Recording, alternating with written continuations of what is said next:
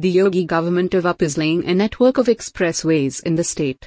In the coming time, Uttar Pradesh will be the state with maximum 13 expressways in the country. This expressway will not only make connectivity and travel easier but will also provide a new impetus to employment. Industrial corridors to be built along their banks will become the medium for this. A provision of 500 crore has also been made in the first budget of Yogi Sarkar 2.0 to develop industrial corridors along all greenfield expressways.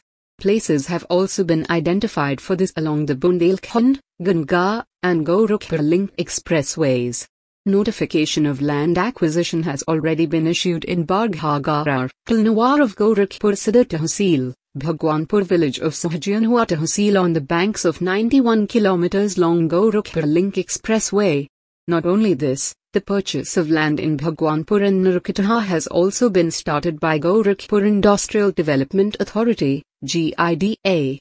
The industrial corridor to be built on the Gorakhpur Link Expressway will have an area of about 1000 acres.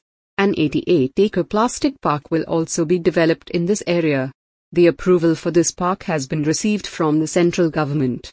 Similarly, UPEIDA has been authorized by the government to set up industrial hubs on Ganga Expressway at Meerut, Hapur, Bareilly, Moradabad, Hardoi, Lucknow, Kanpur, and Prayagraj.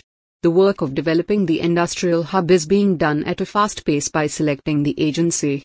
In this sequence, the process of construction of industrial corridors has been started at Chitrakoot, Banda and Jalaun along the Bundelkhand Expressway. The consultant agency has been selected for this. In Chitrakoot, about 103 hectares of land has been identified, purchase, recapture and transfer of about 102 hectares of land has also been done. With the development of industrial corridors, opportunities will also be available for establishment of industrial training institutes, educational and training institutes, medical institutes etc. near all the expressways.